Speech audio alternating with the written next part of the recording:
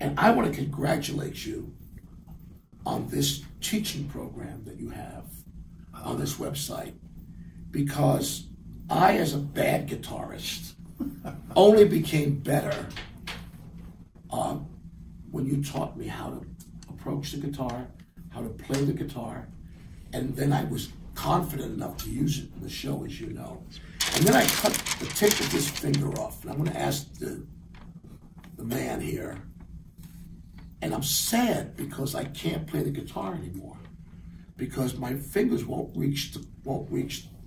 I can't play the C chord. I can't get it to go, and I can't. So I have to ask you, what did you think of people who were able to play the guitar with one finger, like?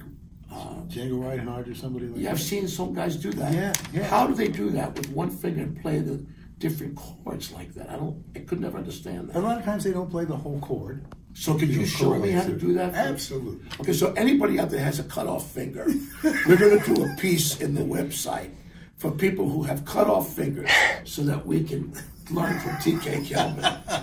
But let me tell you, this is what I want to share with you all.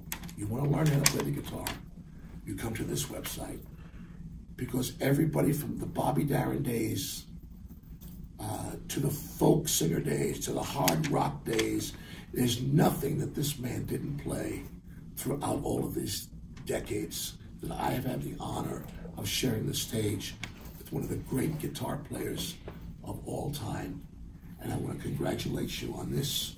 Keep up the good work. Thank you, And those of you at home, listen to every word he says because you too will become a guitar player that you dream of becoming. I promise. It's true. Good luck with that. Thank you, Tony. Love you. Thank you. Love you too.